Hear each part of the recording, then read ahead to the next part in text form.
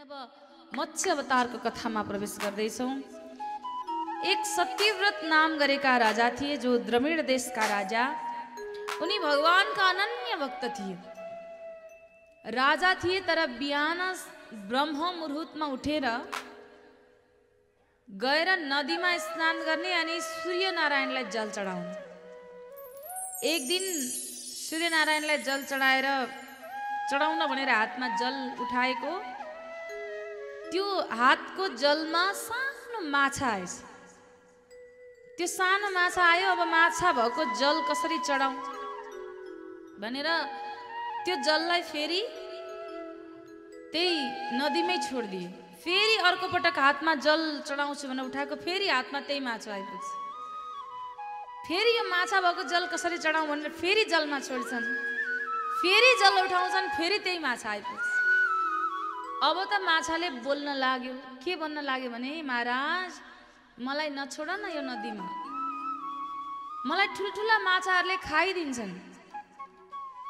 तब बडा प्रेम आएछ। ओहो यति सानो माछा कति राम्रो बोलेको। त्यो प्रेम आएछ र कमण्डलुमा जल भरेर त्यो माछालाई कमण्डलुमा राखेर सूर्यनारायणलाई जल चढाउनुहुन्छ महाराज। जल चढाइसकेपछि कमण्डलु बोकेर घरमा आउनुभयो।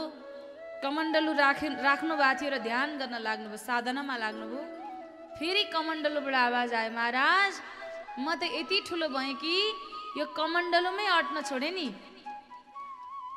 अब महाराज सत्यव्रत गएर यसो हेर्नुहुन्छ कमण्डलुभरिको माछा भएको छ। ओहो यति ठुलो भयो भनेर हतार हतार अलि ठुलो बर्तनमा पानी भरेर माछालाई त्यसमा राखिदिनु भयो र फेरि जप गर्न लाग्नुहुन्छ ध्यान गर्न लाग्नुहुन्छ एकछिनपछि फेरि त्यो बर्तनबाट आवा- आवाज आउँछ महाराज म त यहाँ पनि अटिनँ यहाँ पनि ठुलो भयो नि अब ठाउँै सानो भयो मलाई फेरि महाराज उठेर गएर हेर्नुहुन्छ त बर्तन भरिको भएको छ माछा अब चाहिँ शङ्का लाग्यो। तब सत्यव्रत राजाले हात जोडेर भन्नुभयो प्रभु हजुर को हुनुहुन्छ? भन्दा म मत्स्य रूपमा आएको श्री नारायण हुँ। अबको सात दिनमा यो पृथ्वीमा प्रलय आउँदैछ। तिमीले सबै अन्नहरू लिएर सप्त ऋषिको साथमा एउटा नौका बनाएर नौकामा सवार हुनु। तिमीलाई म नौका विहार गराउँछु भन्नुभयो। तब भगवान् अन्तर ध्यान हुनुहुन्छ। यता ठिक सात दिनपछि सप्त ऋषिको साथमा नौकामा सत्यव्रत राजा तयार हुनुहुन्छ। र बासुकी नागले आएर त्यो नौकालाई बाँधेर मत्स्यको सिङमा लगेर बाँधिदिए। र मत्स्य अवतार रूपी भगवान् श्री नारायणले प्रलय यहाँ प्रश्न उत्तर भएको छ मा महाराज। सत्यव्रत र मत्स्य अवतार रूपी भगवान् नारायणको यही प्रश्न उत्तरलाई नै हामी मत्स्य पुराण भन्दछौँ। र यहाँ यसरी भगवान्ले मत्स्य रूपमा भगवान्ले दर्शन दिनुहुन्छ बोल्नुहोस् मत्स्य रूपी नारायण भगवानको यसरी भगवान्ले कृपा वर्षाउनुहुन्छ भने अघि प्रसङ्गमा। बडा सुन्दर प्रसङ्ग छ। महाराज मनुका मनुका दस पुत्रहरूको प्रसङ्ग छ भने अघि श्री सुखदेव स्वामी एकादशीको महिमा वर्णन गर्नुहुन्छ। एकादशीको व्रत बस्नु भएको छ? बस्नुहुन्छ नि? अब टिभी हेरेर पनि बस्नुहुन्छ जो भक्तजनहरू उहाँहरूलाई एकादशीको व्रत चाहिँ सबै व्रतमा उच्च व्रत मानिएको छ जसले एकादशीको व्रत बस्छ उसलाई अरू कुनै पनि बार कुनै पनि व्रत बस्ने जरुरत छैन भनेको छ उच्च व्रत सबैभन्दा उत्कृष्ट व्रतको रूपमा एकादशीको व्रतलाई मानिन्छ। जुन व्रत कसरी बस्ने व्रत भन्ने पनि छ यहाँ व्रत कसरी बस्ने रे सुन्नु है? व्रत यदि सकिन्छ भने निर्जला बस्ने रे निर्जला भनेको जल नपिकन। यदि सकिन्छ भने निर्जल बस्नु। यदि सकिँदैन भने जल पिएर बस्नु। त्यो पनि सकिएन भने कन्दमूल खाएर फलफुल खाएर बस्नु। त्यो पनि सकिएन भने एक छाक अन्न खाएर बस्नु। त्यो पनि सकिएन भने दुई साग अन्न खाएर बस तर व्रतको अर्थ के रहेछ त? व्रतको अर्थ खाली पेट बस्नु रहेछ त? भन्नु त हाम्रो सोचमा व्रत भनेको भोको बस्नु भन्ने मात्रै बुझाइस्। भोको बस्नु भन्ने त्यो दिन। अनि एकादशी बसेको दिन दुई केजी आँप दुई केजी केरा एक किलो स्याउ आधी जति चिनी। अनि के व्रत हुन्छ त्यो होइन। तर व्रत भनेको हामीभित्र विकारहरू छन् नि। दस विकार छ अरे हामीभित्र काम क्रोध लोभ मोह रिस मत्सर घमण्ड अहङ्कार द्वेष। यो दस विकारहरूलाई छोडेर एक परमात्मामा एक दिन ध्यान लगाउनु त्यो व्रत हो एकादशीको व्रत। तर त्यो दिन जति गाली कसैको निस्किँदैन फेरि। भोक लागेको हुन्छ पेटमा अनि रिस मात्रै उठ्छ कि? एक दिन भगवान्लाई छुट्याउ भनेको व्रत भनेको हो।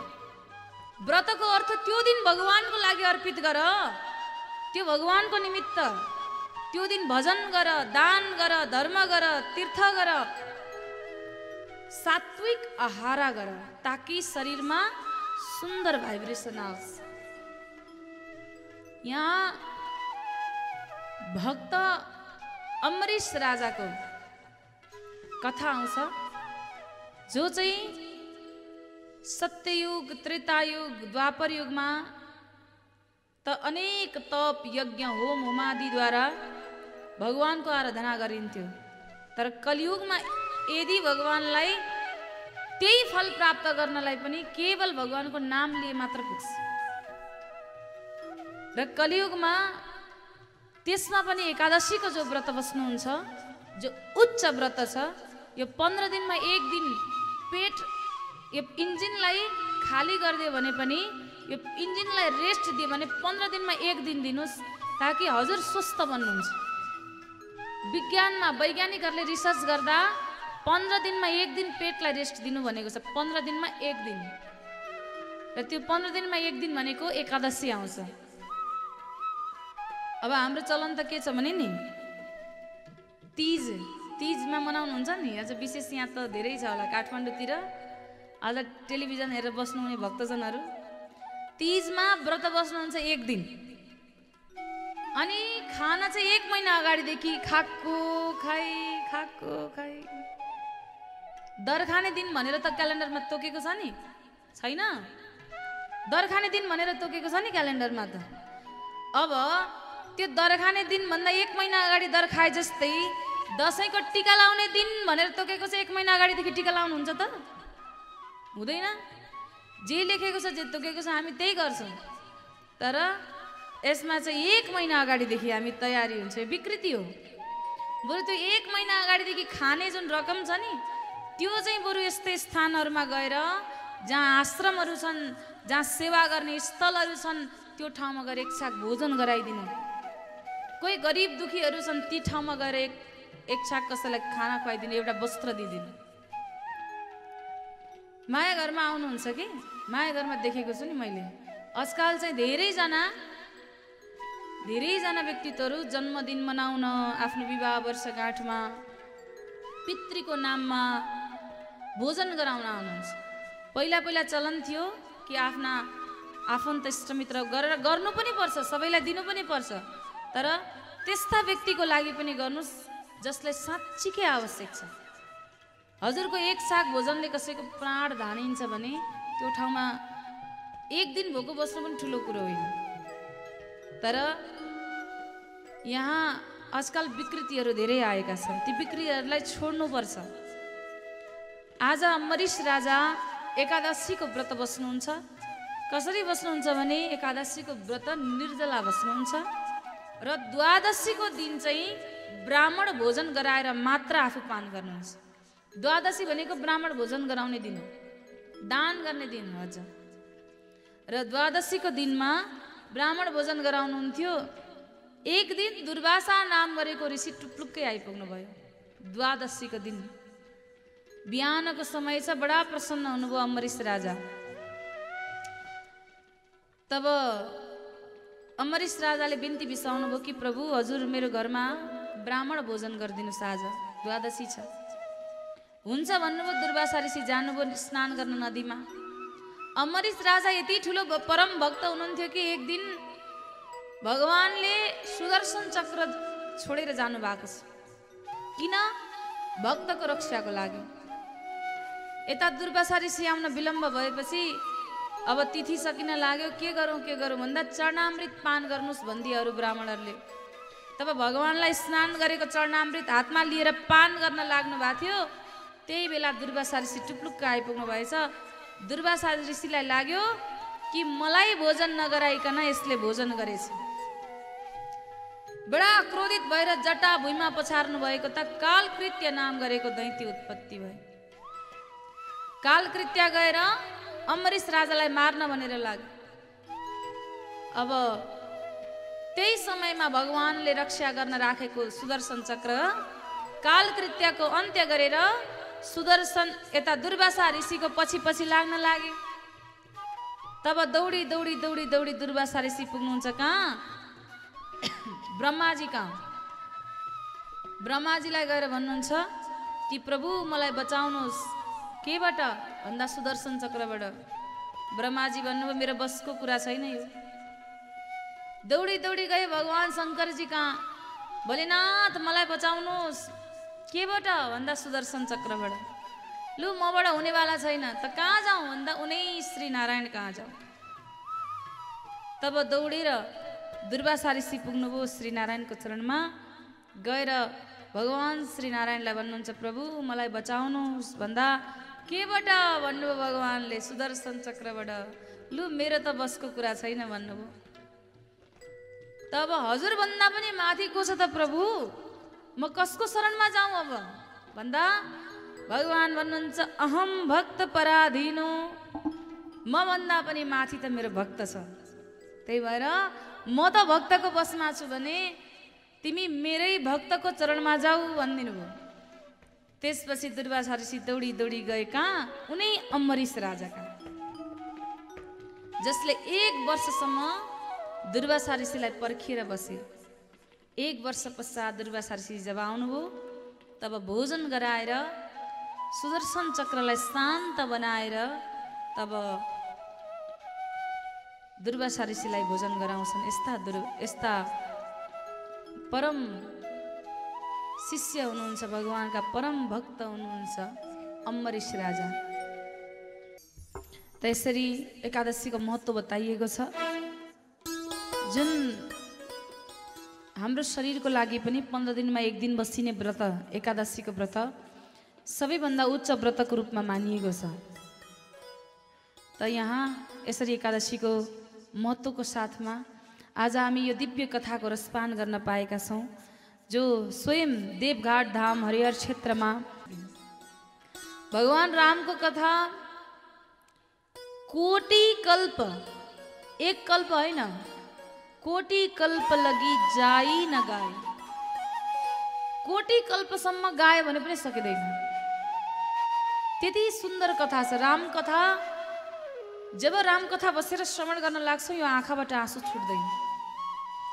कृष्ण कथा श्रवण गर्न लाग्छौँ यो ओठको मुस्कान बन्दै हुँदैन कस्तो अचम्मको कथा छ भगवान् रामको कथा म न त यहाँ एक श्लोकमा कथा छ एक श्लोकमा तर त्यो कथालाई म केही विस्तृत रूपमा हजुर समक्ष राख्दैछु भगवान् श्रीराम खटुवाङका पुत्र थिए दीर्घबाउ दीर्घबाउका रघु रघुका अज अजका दशरथ अनि यिनै दशरथको वंशमा भगवान् श्रीरामले जन्म लिनुभयो ज्येष्ठ पुत्रको रूपमा।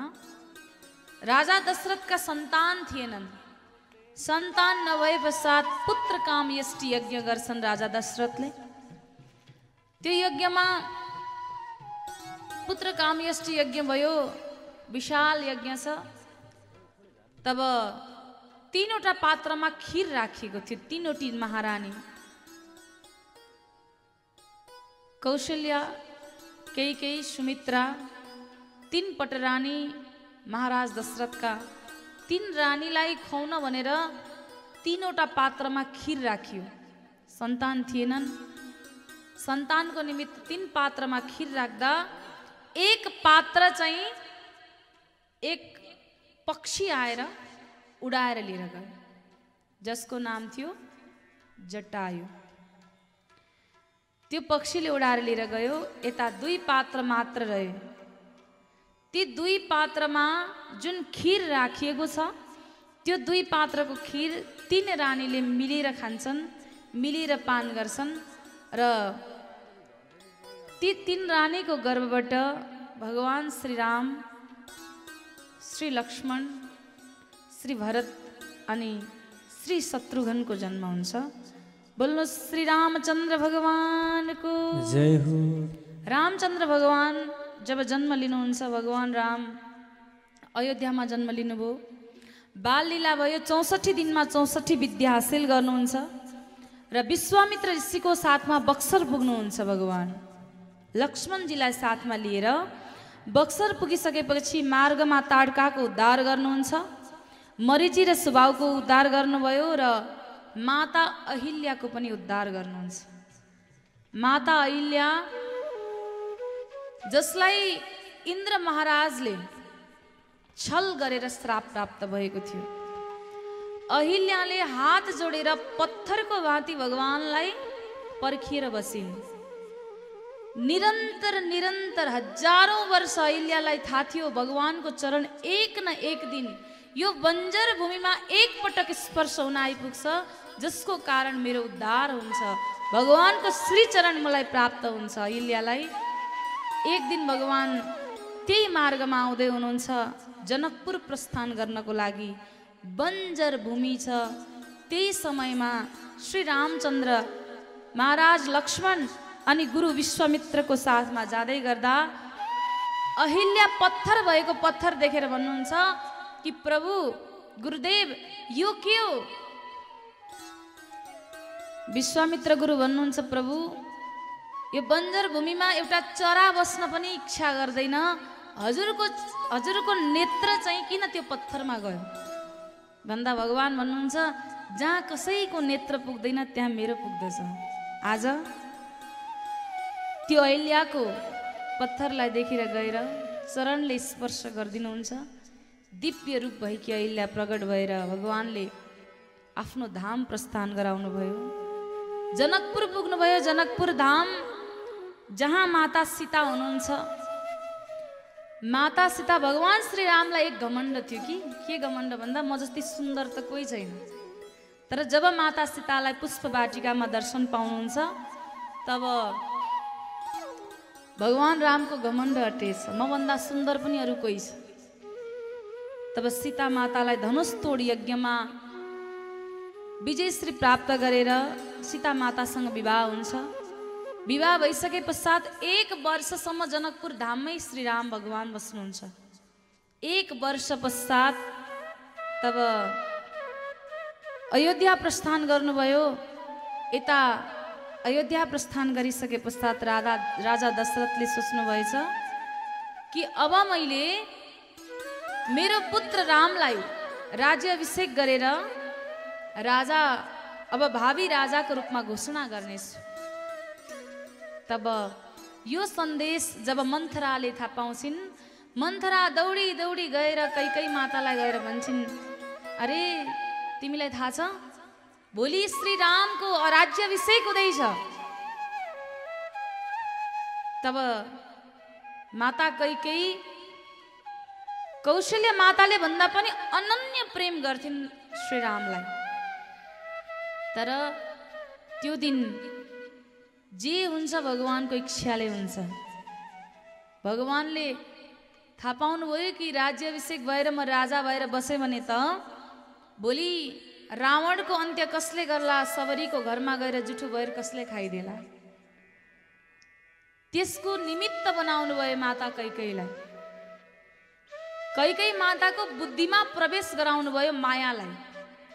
भगवान्ले हर कारणको पछाडि आफूलाई नै जोड्नु भएको छ।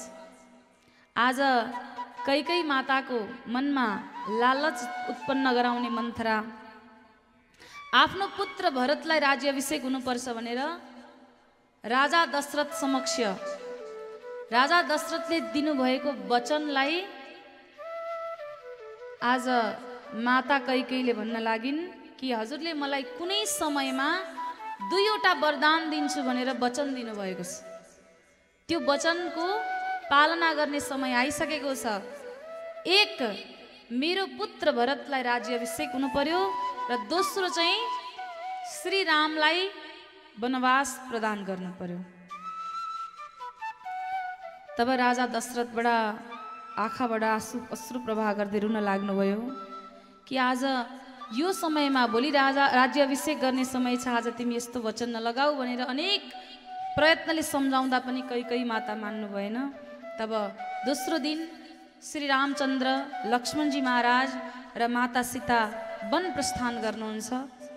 वन प्रस्थान गरिसके पश्चात वनमा अनेकौँ कष्टहरू आइपर्छन्। र माता सीताको हरण हुन्छ। हुन त माता सीताको छाया मात्र हरण भएको छ।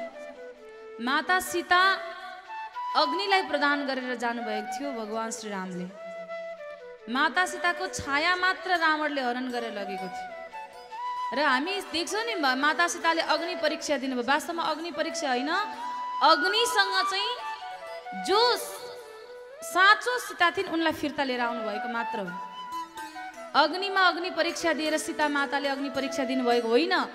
अग्निलाई चाहिँ जो साँच्चीकै सा सीता थिइन् त्यो अग्निलाई प्रदान गरेर छाया सीता मात्र भगवान्ले राख्नु भएको थियो। छाया सीता मात्र रावणले हरण गरेर लग्यो।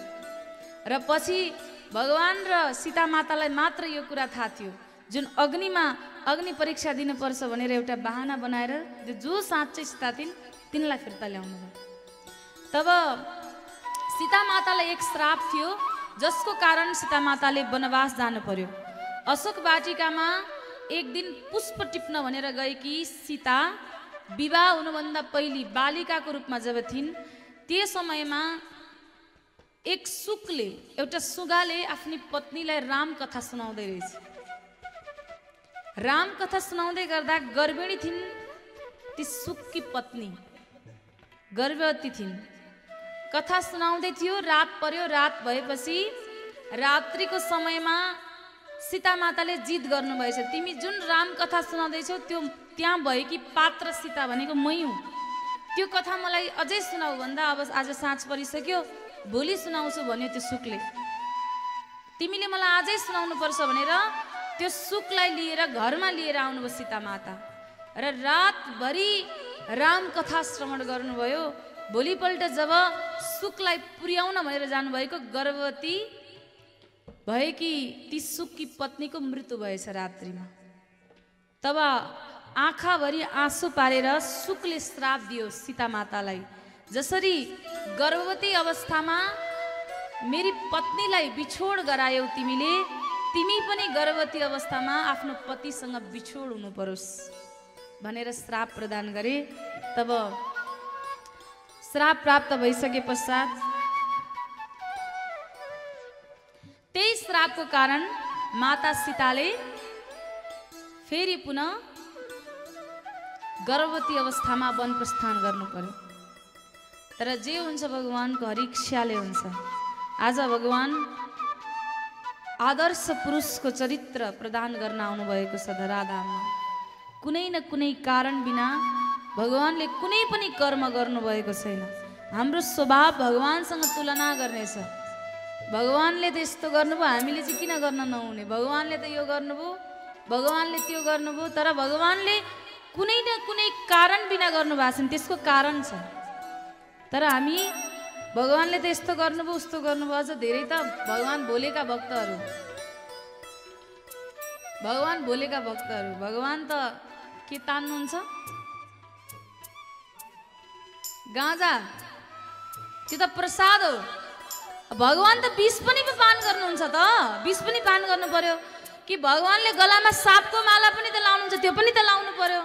भगवान्सँग तुलना गर्ने भयो त। भगवान्को प्रसाद भनेर त खाने बाहना मात्र। त्यो एउटा बाहना मात्रै हो। भगवान्ले जस्तो गर्नुहुन्छ त्यस्तै गर्नलाई हामी हामीसँग कहाँ सामर्थ्य छ? हामी एउटा तुच्छ मानव। हामीसँग सानो बुद्धि छ। हामीसँग चेतना कम छ।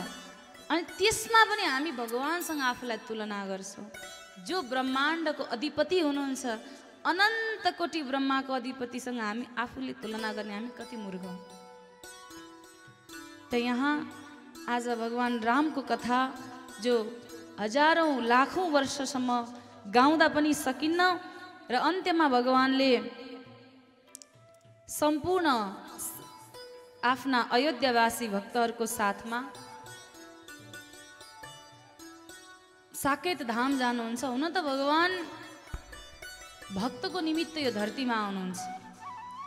भगवान्ले दुष्टको उद्धार गर्नलाई त एक सङ्कल्प नै काफी हुन्छ भगवान्लाई। तर भक्तलाई परम दर्शन दिनको लागि भगवान् यो धराधाममा आउनु भएको छ। एक सवरीको कथा छ। भगवान् रामको कथामा म सवरीको कथालाई जोड्न चाहन्छु। सवरी पूर्व जन्ममा राजाकी पत्नी थिइन्। अत्यन्त परम सुन्दरी। राजाकी पत्नी परम सुन्दरी उच्च कुल खानदानकी एकपटक आफ्नो पतिको साथमा काशी बनारस घुम्न भनेर दर्शन गर्न भनेर गइस्। गएको बेलामा अब उनलाई त अति प्रेम भगवान् श्री रामसँग थियो।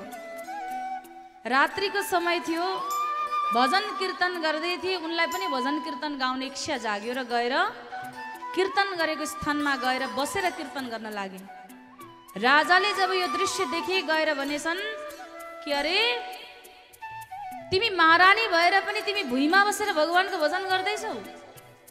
हाम्रो कुल खानदानले दिँदैन तिमी यहाँ बसेर भजन गर्ने होइन तिमी हिँडिहाल यहाँबाट। अब राजाको आदेश उनले पालन गरिन् उनी लिएर गए। रात्रिको समयमा उनलाई बडा चिन्ता भयो। तब गङ्गाको तटमा आइन् हातमा जल लिएर सङ्कल्प गरिन्।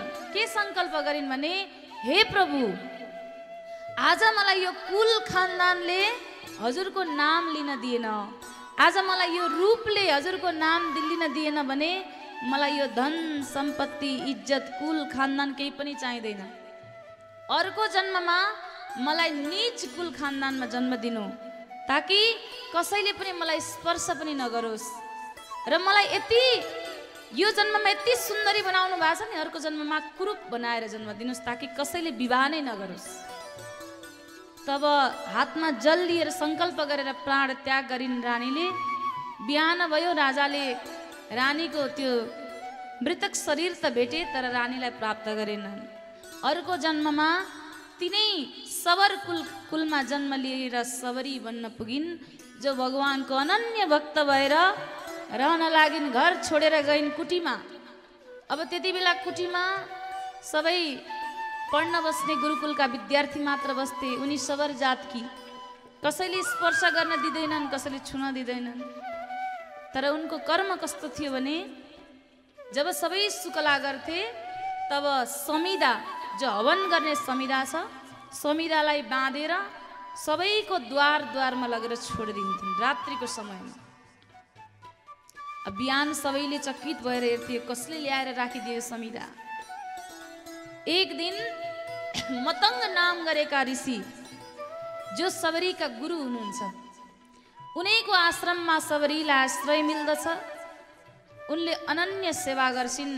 जब ऋषिमुनि यो धराधाम छोडेर परम धाम हुन लाग्नुभयो। तब सबरीलाई भन्नुहुन्छ सबरी भगवानको दर्शन गर्न भक्त पैदल चढेर कहाँ कहाँ पुग्दछन्? हजारौँ वर्ष पर्खाइमा बस्छन् तर तिम्रो घरमा भगवान् खाली खुट्टा पैदल चल्दै चल्दै तिम्रो दर्शन गर्न आउनुहुन्छ। अब सबरी गुरु वाणी एकपटक गुरुले जब बोलिदिनु भयो त्यो हृदयमा यसरी लिन् जुन दिन जुन समय गुरुदेवले यो वचन बोल्नुभयो त्यही दिनदेखि भगवान् कुन दिन आउनुहुन्छ त्यो त भन्नु भएन गुरुदेवले तर त्यही दिनदेखि पुष्प बिछ्याएर भगवान् आउने बाटो सफा गर्न लागिन्। त्यही दिनदेखि जङ्गलमा गएर बैर टिपेर बैर चाख्ने गुलियो छ भने भगवान् रामलाई भनेर राख्ने अमिलो छ भने फाल्दिन्। प्रतिदिन एक दिन होइन प्रतिदिन असी वर्ष कुरिसकेपछि भगवान् एक दिन लक्ष्मणजीको साथमा सबरीको घरमा त्यो जुठो बैर पान गर्न भनेर आइपुग्नुहुन्छ। जब सबरीले भगवान्को चरणविन्दको दर्शन गरिन् उनले चरण प्रक्षालन आफ्नो आँखाको अश्रुद्वारा चरण प्रक्षालन गर्न पुग्छिन्। तब हतार हतार प्रभु भोग लाग्नुहोस् भनेर भित्र राखेको जुठो भएर ल्याएर दिन लागिन् र त्यही भएर भगवान् मिठो मानेर आज पान गर्दै हुनुहुन्छ। अबको समय भएको छ भगवान् श्रीकृष्ण जन्म उत्सवको। आज भगवान् कृष्णको यस धराधाममा जन्म प्रगट उत्सव हामी मनाउँदैछौँ। भगवान् कृष्ण यस धराधाममा आउँदै हुनुहुन्छ। हामी केही क्षणमा नै भगवान्लाई यस धराधाममा स्वागत गर्दैछौँ। आउनुहोस् भगवान् कृष्णको जन्मोत्सवतर्फ प्रस्थान गरौँ। उग्रसेनका पुत्र कंसले यस पृथ्वीमा बडा अत्याचार दुराचार गर्न लागे तब त्यो कष्टलाई सहन नसकेर पृथ्वी माता गौ माताको रूप धारण गरेर ब्रह्मलोकमा पुग्नुहुन्छ। गएर ब्रह्मदेवलाई विनम्र अनुरोध गर्न लाग्नुभयो प्रभु। गिरिसर सिन्धु भार नही मोही। के भन्नुहुन्छ गौ माता रूपी पृथ्वी भन्दा गिरिसर सिन्धु भार नही मोही। जस मोही गरु एक परद्रोही। यानि कि मलाई यी ठुल्ठुला पहाड पर्वत श्रृङ्खला हिमाल यो केही पनि भार लाग्दैन तर एक परद्रोही जन्मियो भने चाहिँ म सहनै सक्दिनँ भन्नुहुन्छ। पृथ्वी माता र यहाँ आज गौमाताको रूप धारण गरेर आएको छु भन्नुहुन्छ। प्रभु प्रभु समक्ष बिन्ती बिसाउन भनेपछि सबैले भन्छन् त्यसो भगवान्लाई यहीँ पुकारौँ। किनभने भगवान् हरिव्यापक सर्वत्र समाना प्रेम ते प्रगट होए मे जान। भगवान् के भन्नुहुन्छ? म यत्र तत्र सर्वत्र छु यदि प्रगट गराउन चाहन्छौ भने प्रेम गर। तब सबैले त्यही स्थानमा बिन्ती गर्छन्। तब भगवान्ले आकाशवाणीको माध्यमले भन्नुहुन्छ कि अब म ब्रिजमण्डलमा वृन्दावन धाममा जन्म लिँदैछु र त्यही कंसको द्वारमा वसुदेव र देवकीको घरमा अष्टम लाल बनेर आउँदैछु। कंसको उद्धार गर्दैछु। चिन्ता नगर भनेर भन्नुहुन्छ र सम्पूर्ण ऋषिगण तेत्तिस कोटी देवी देवता सबैलाई भन्नुहुन्छ तिमीहरू पनि अहिले मनुष्य बनेर जाने अवसर प्राप्त भएको छ।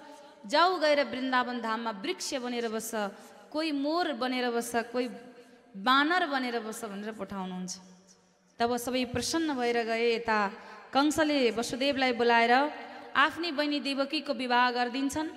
विवाह गरेर पुर्याउन भनेर जान लाग्दा त्यही समयमा आकाशवाणी हुन्छ रे कंस जुन बहिनीलाई आज तैँले पुर्याउन जाँदैछस् त्यही बहिनीको आठौँ गर्भतिर काल बनेर आउनेछ जब आकाशवाणी भयो कंस बडा क्रोधित भएर गएर देवकीको शिरमा समातेर भुइँमा पछार्न लाग्यो तेरो अष्टम सन्तानले मलाई यदि मार्छ भने तँलाई नै आज सकाउँछु भन्न लाग्यो तेरै अन्त्य गरिदिन्छु आज तब पति वसुदेव पत्नीको रक्षाको लागि।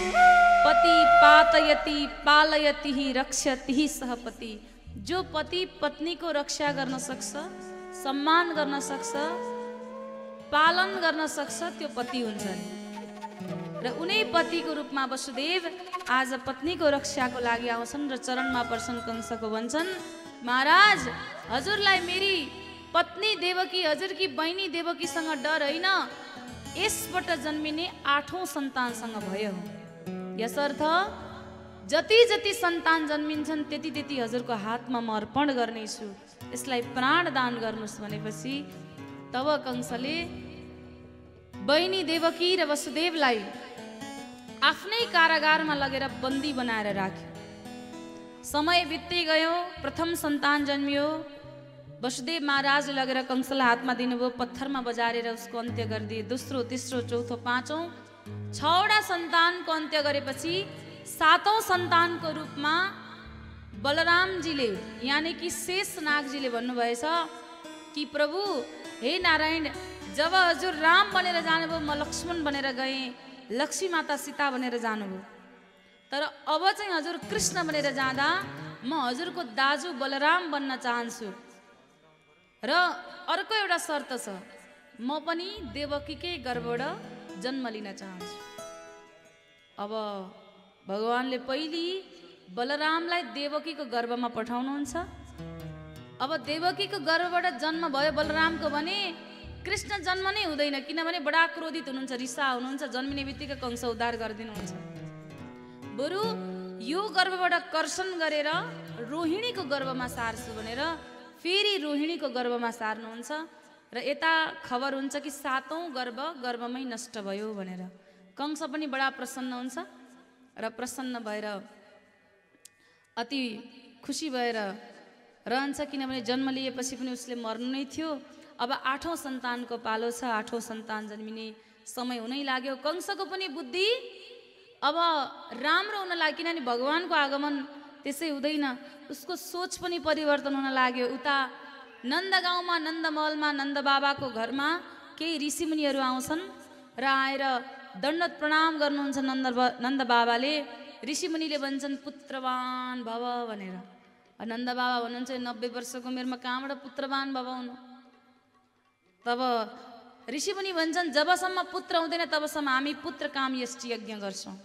यज्ञ प्रारम्भ भयो उता यता समय बित्दै गयो। अब भगवान्को यस धराधाममा आगमन हुने समय भयो र सम्पूर्ण देवताहरू आएर आज गर्भस्तुति गर्छन्। आउनुहोस् हामी पनि गर्भस्तुति गर्दै भगवान्लाई यो धराधाममा आमन्त्रण गरौँ। तब बिस्तारै भाद्रको महिना आयो अष्टमी तिथि आयो कृष्ण पक्ष आयो रोहिणी नक्षत्र आयो सबै ग्रहहरू अनुकूल हुन लागे बुधबारको दिन आयो। रात्रिको समयमा देवकी मातालाई स्वप्न जस्तो अनुभूति भएको छ तर वसुदेव महाराज सबै ज्ञात हुनुहुन्छ। वसुदेव महाराजलाई सबै थाहा छ तर देवकी मातालाई स्वप्न जस्तो अनुभूति भयो। भगवान् सशरीर आउनुभयो र आएर वसुदेव महाराजलाई भन्नुहुन्छ अब म केही क्षणमा नै सानो बालकको रूपमा प्रगट हुँदैछु। अब म प्रगट हुन साथ मलाई लिएर तिमी नन्द गाउँमा नन्द महलमा जानु र त्यहाँ जन्मिएकी सानी बालिकालाई लिएर यहाँ आउनु।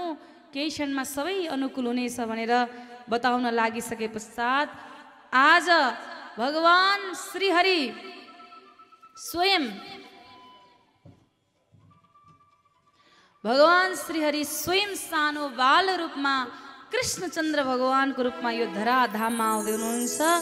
सानो बालकको रूपमा प्रकट भएर रात्रिको बाह्र बजेको समयमा भगवान् यो धराधाममा आउनुभयो। बोल्नुहोस् कृष्ण कन्हैया लालको। आनन्द कन्द भगवानको। भगवान् सानो बाल रूपमा जन्म लिँदै हुनुहुन्छ। लिएर आज वसुदेव महाराज सानो बालकलाई लिएर नन्द महलतर्फ प्रस्थान गर्दै हुनुहुन्छ।